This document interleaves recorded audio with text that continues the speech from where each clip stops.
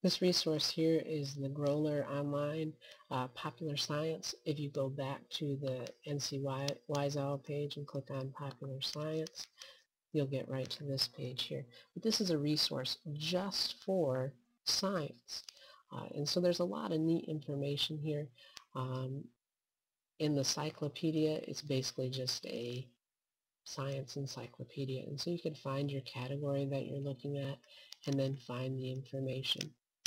One of the neat features that I think uh, I like a lot is the News Bites. The News Bites, uh, what it does is provides a short article. Um, this is kind of a summer reading one, so it's not the most interesting, but it provides a news article, but it also provides a lesson that's going to go with that news article. Uh, so it gives you all the different things that you need to go with that article. So here's the reading at the top of the page and you've got the News Bites study guide and so it's got questions for students to answer uh, as they read that. Uh, it's got leading questions. So what are questions to create the discussion within your classroom? It's got a News Bite activity, so students would go through and try and answer this stuff on the on their own. And then it's also got the answers to the activity, which again, very important. Um, but if I go to the News Bites home, there should be an archive for the past ones that they have. And so there's a bunch of different materials that they have available there for you. Let's head back to the popular science page.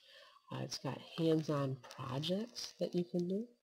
Um, so you can search by what your topic is. This may be a good thing for uh, science fair activities. So if you know your project name that you're looking for, but these could be good ideas for science fairs.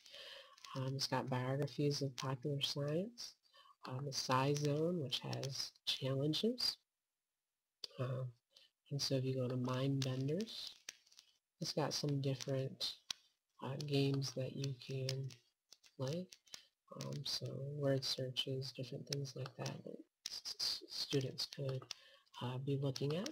So that's the SciZone. The Sci Files, Science Fact Finder and so it'll help you find facts um, based on some of those information bits on the side.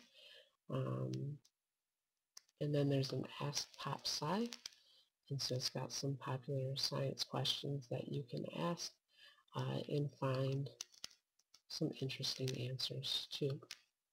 But this, this site is geared all towards um, researching about science we go to the teacher's guide.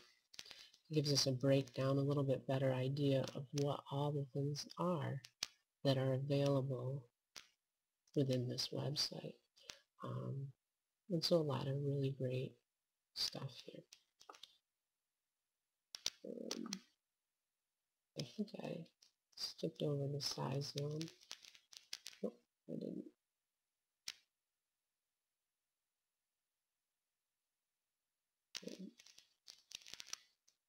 It's got some different, uh, this math brain even has some math activities.